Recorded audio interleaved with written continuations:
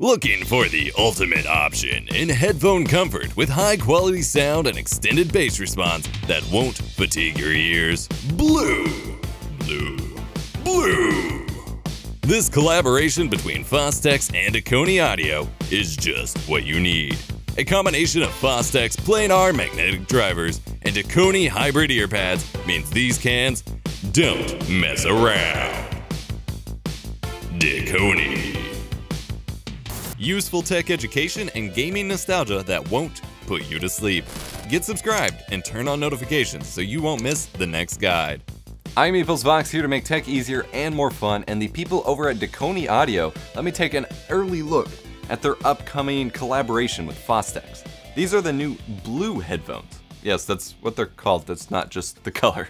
These headphones are actually a revision of Fostex's T50 RP Mark III which aims to make the headphone less fatiguing and smoother with an extended bass response, which we'll touch on in a minute.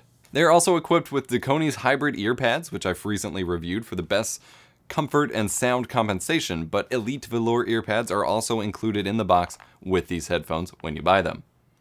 Physically, these are nicely built without being too heavy. Most of the outer showing parts are made of hard plastic, but durable enough that I wouldn't see them breaking anytime soon. They're pretty solid. I love the height adjustment mechanism. It is so much smoother than just about most headphones that I have used and just feels right for some reason. The cans are a good size, fully covering my ears without being as huge as my K7XX headphones, housing 38mm drivers. And the Dekoni hybrid earpads are comfortable as can be, of course. These actually close up sound linkage a bit without fully closing off the soundstage or focusing bass directly into your ears. They feature velour on the face, which provides comfy contact with your skin, along with their thick, soft memory foam inside, which has been some of my favorite of any earpads I've used. The outer ring is a sheepskin material to isolate the sound, but their inner ring features their fenestrated sheepskin, which allows sound to enter the foam and be isolated there instead of just focusing it all into your ear. This pad works really well here. I remember in my original review of their earpads, I was curious as to when, when exactly you'd want those. This is a good use case.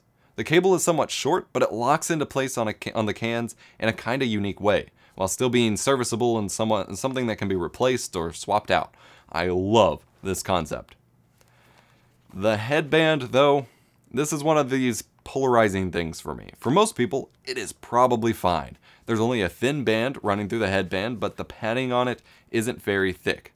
But I just really don't like solid band headphones, period. I'm, I'm, I'm finally learning that I just don't. On the whole, these headphones are comfortable as hell. But sometimes, if the headband sits in the right spot on my head, which is usually where I'd put them, it just really starts to hurt after a while. Just a common factor in my reviews. I much prefer suspension style bands, but everyone has different preferences, and I get a lot of comments on my reviews saying that a lot of people don't like suspension style at all. Unlike many of the headphones that I review, these semi-open back headphones provide a satisfying bump to the mid-range with smooth but present bass. I'm a weird one in that I generally prefer very flat headphones. Speakers, give me that bass. But headphones, I generally prefer flat. I received a couple of complaints on my original AKG K7XX review for liking things too flat which I just find funny. But I'm not gonna lie, the bass response on the blue headphones has been a nice change of pace. My music has a new oomph to it when wearing these, which I can appreciate. While the soundstage isn't quite as open as my AKG cans, the, it's surprisingly usable given how isolated these cans are. Positioning in-game has been great, and general media consumption is pretty good. I do start to miss some of the high end that these cans don't fully produce here compared to my other headphones, however. Now, this is to keep them smooth and to prevent fatiguing, because if you crank up the high end on them, they do get a little fatiguing. But for purposes like ASMR and some music genres, the lesser high end can feel a little bit lacking. Overall, this was a great branch away from the headphones that I normally review and has made me consider checking out more headphones that I'd previously shied away from. The blue headphones, it's still weird that I'm just calling them that. The blue headphones are comfortable, easy on the ears, and sound great. And they look pretty neat too. I like this design. At the time of recording, these headphones are still on pre-order. I'll throw a link to them on Dekoni's website in the video description down below. Check them out if you're interested. Hit the like button if you enjoyed. Get subscribed for more awesome tech tips. And I do have a playlist linked in the video description below where you can see my other headphone reviews for context because it's important when listening to reviewers to understand the context in which they've reviewed other similar products. So I'll have that linked down below as well. And I'll see you in the next one.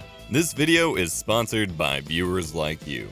Our videos would not be possible without the generosity of those of you who contribute to one of our fan funding options, be it DonorBox, Twitch subscriptions, direct contributions via PayPal, or Patreon. To join our inner circle and get behind the scenes looks at videos, go to eposvox.com slash support to learn more, and join us on Discord at eposvox.com slash discord. Thanks!